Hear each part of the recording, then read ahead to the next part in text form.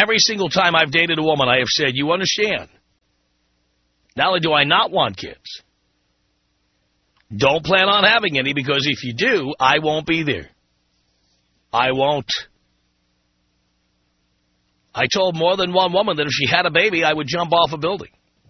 if she expected me to be involved and started haranguing me, I'd rather just kill myself than to go through the family court system and the crap that uh, that people I know have been through. Fights over custody, fights over visitation, fights over uh, child support. Forget it.